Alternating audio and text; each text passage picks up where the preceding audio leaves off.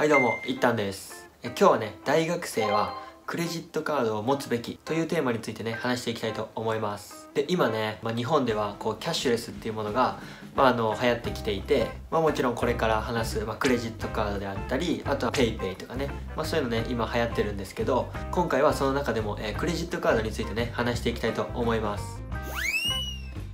で僕もね実際クレジットカード今、えー2枚持ってるんですけど、まあ、こちらのね2つ。Yahoo のカードと楽天のカード。こちらの2枚を、まあ持ってるんですけど、まあ、早速ねこのクレジットカードを、えー作ってよかった、まあ、メリットをね3点話していきたいと思います。でまず1つ目。まず1つ目は、まポイントが貯まるっていう点ですね、ま僕のこの楽天のカードだと、ま楽天ポイントが貯まるっていうのもあるしあとはまこちらのね Yahoo カードだと、まあ T ポイントが貯まる。っていうこともあります。今 T ポイントも楽天ポイントも、まあ基本どこの店行ってもね使えるし貯まるし今ねいろんな店であの楽天ポイントとか T ポイントっていうものが、えー普及してきています。で大体100円の買い物につき1ポイントね、まあ、貯まるような計算なんですけどじゃ単純にじゃあ月5万あのいつも現金で払ってたとします。でも現金で払ったら基本的には何も還元っていうものはないじゃないですか。でもねこれをねクレジットで払うことによって5万使ったとしたら500ポイント。いわゆる500円分の換金があります。って考えるとまあね単純計算で1ヶ月500ポイントの還元があったとして1年12ヶ月で、えー約6000ポイント。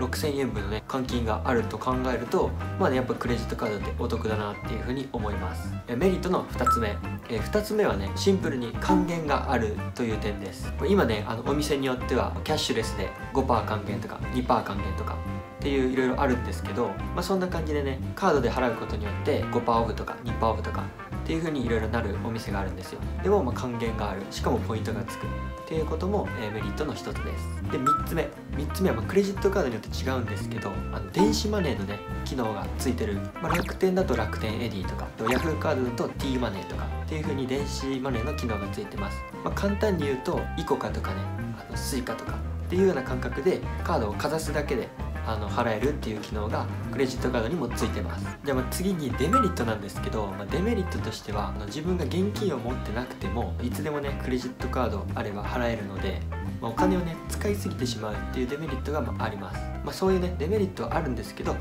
あ、正直お金の管理さえ自分でねちゃんとできれば大丈夫なので、えっとま、クレジットカードには正直それさえできれば、メリットしかないかなと思います、ま、またね、え時間があればあのおすすめのねクレジットカードとかっていうものも、え紹介しようかなと思います。じゃあね皆さんもクレジットカードを作ってお得にお買い物をしましょう。それじゃあ今日の動画は以上となります。バイバーイ。